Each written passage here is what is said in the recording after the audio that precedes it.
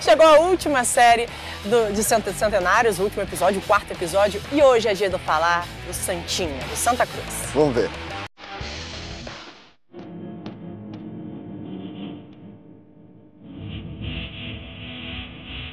Ceará é mundo, Ceará é a vida, Ceará é amor, Ceará está no nosso coração. É o vovô. O DNA de cabeça é vida. É o sonho de quem está vivendo todos os dias. Tenho certeza. E Deus é tempo hoje, vai nos ajudar. A gente foi poder fazer o centenário mais bem comemorado do clube no Brasil. E estamos conseguindo. Essa, essa história dessa trave que aparece no coisa, eles ficam loucos da vida. 100 anos de histórias, glórias e devoção. Quatro episódios de uma série que acompanhou torcedores e personalidades no ano do centenário de quatro clubes distintos em suas trajetórias, iguais na paixão que os move. No primeiro episódio, nós mostramos como foi o ano do Paysandu. Depois foi a vez do Tombense, time mineiro, centenário em sua fundação, mas muito jovem como profissional. Ontem assistimos a fidelidade de um homem ao Ceará, clube que o recebeu há 43 anos. E hoje, no último episódio, vamos mostrar um estádio de futebol que se tornou o templo para uma das torcidas mais apaixonadas do Brasil.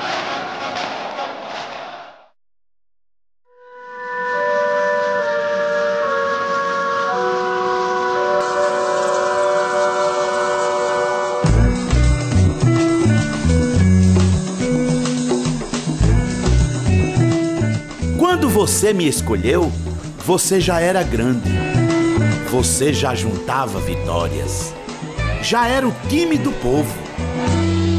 Ao contrário dos outros clubes, ele não pertencia à comunidade de ingleses, nem muito menos da alta burguesia ou dos industriais do açúcar. Então, ele nunca fez restrições por crença, raça ou condição social.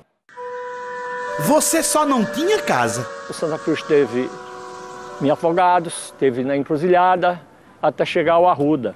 Aqui, nesse local, funcionava o Tabajara Atlético Clube. O Santa Cruz conseguiu adquirir a quadra do campo do Tabajaras. E o Santa Cruz se instalou até hoje aqui. Muitos são os meus nomes. O estádio José do Rego Maciel. Mundão do Arruda. O Arrudão, né? Repúblicas Independentes do Arruda. A gente fala Repúblicas Independentes do Arruda pela massificação do seu clube. Pode me chamar de Arrudão. Muitos são os braços que me ergueram. Como tudo no Santa Cruz, é, só sobe com a torcida. Campanha do tijolo, campanha do cimento. Toda vez que nós falávamos na campanha do tijolo, o tijolo diminuía no estoque dessas lojas de construção civil. Eu, quando eu cheguei aqui, só tinha a parte de baixo da arquibancada, né? Só tínhamos seis degraus aqui nessa parte. Nossos filhos são fiéis. Nos títulos. Até hoje, torcedores, adversários ainda questionam se a bola entrou ou não entrou. Realmente a bola não entrou e nós conseguimos o super campeonato nos quase títulos. Mineiro Reinaldo! Em 2005, naturalmente, seria o primeiro título é, nacional do Santa Cruz. Né? Até poucos minutos do final do, do jogo, a gente era campeão brasileiro. Carlinho Bala pegou a, a taça, deu a volta olímpica, o torcedor aplaudindo. Infelizmente, o Náutico deixou aquela virada, acontecer aquela virada, né?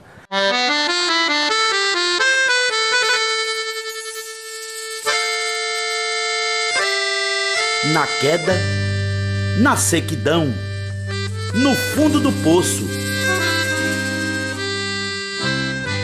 Havia muitas gozações quando nós chegamos ao fundo do poço na Série D. Porque o clube estava sem série no Campeonato Brasileiro. Quando ganha, o torcedor vem. Quando perde, o torcedor vem mais ainda. O Santa Cruzense, de verdade, ele está apoiando sempre.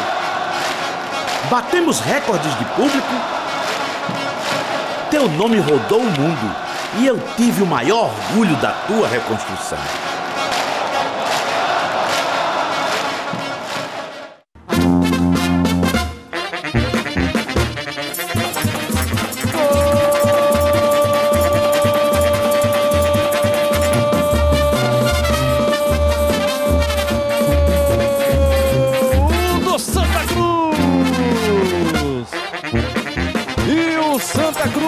Campeão da Série C do Campeonato Brasileiro.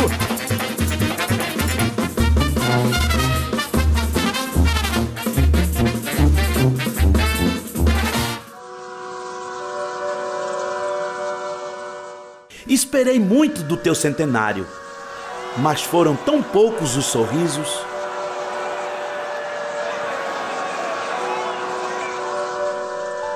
Vivi meu dia mais triste. Torcedor jogar um vaso e assassinar um, e matar um torcedor do esporte, né, de outra equipe. Boa noite. Boa noite. Este sábado, a CBF interditou o estádio do Arruda, no Recife. A decisão foi tomada depois que um torcedor morreu ao ser atingido por um vaso sanitário arremessado da arquibancada após o jogo de ontem entre Santa Cruz e Paraná pela Série B do Brasileiro. Um desajustado que trouxe para cá uma, uma, uma condição de fazer ao Santa Cruz um dos seus maiores prejuízos manchando de sangue o centenário do Santa Cruz e com isso afetou profundamente o evento de festividades do, do Santa Cruz. O clube foi penalizado, né? teve a, que jogar fora. E pesou demais nas, nas finanças. Santa Cruz jogar também muito fora condicionou essa, esse número menor de público desse ano. O vazio é o meu pior castigo. Nas horas difíceis, me apego às páginas da nossa história. Cá entre nós, achei arretado ser a capa do álbum do teu centenário. Essas figuras estão coladinhas na memória. O Arruda é, é, é um orgulho de todos, então ninguém é, é, se sentiu enciumado, se sentiu preterido, porque está aqui o maior símbolo desse, desse clube. Né? Presenciei o surgimento de estrelas. O meu sonho eu já estou realizando, é, é, jogando no Santa Cruz. Jogo aqui no Arruda contra o Cruzeiro. Aí marcamos 1x0, ele empatou. Mas já comemorei quando poucos acreditavam. Santa Cruz 2x1.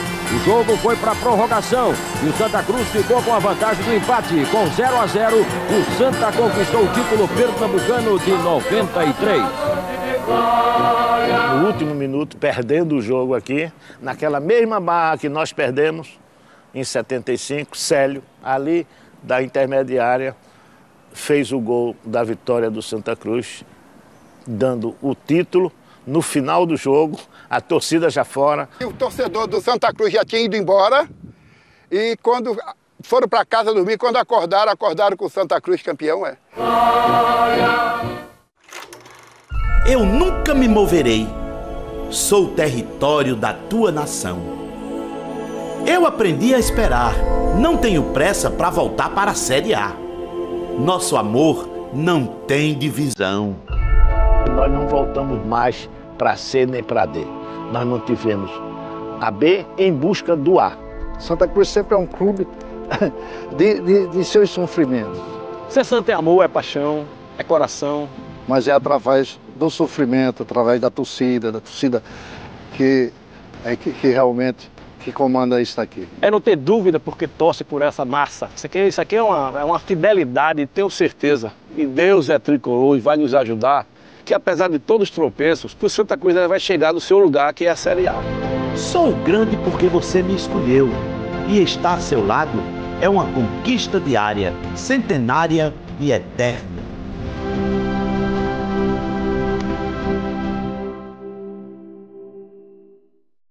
Meu Santa, meu Santa Cruz, que tanto nos encanta e seduz. Salve o Santinha, o time das multidões. Centenários, 100 anos de glórias e devoção. O Tá Na Área mostrou em quatro episódios o amor de torcedores e personalidades por clubes de futebol. De Quarentinha, ídolo do Paysandu e atleta do século do Pará, ao ainda desconhecido Tombense, campeão brasileiro da Série D, passando pela fidelidade de Dimas Filgueiras ao Ceará e a cumplicidade entre torcida e clube no Santa Cruz. Quatro clubes, 100 anos de muitas histórias.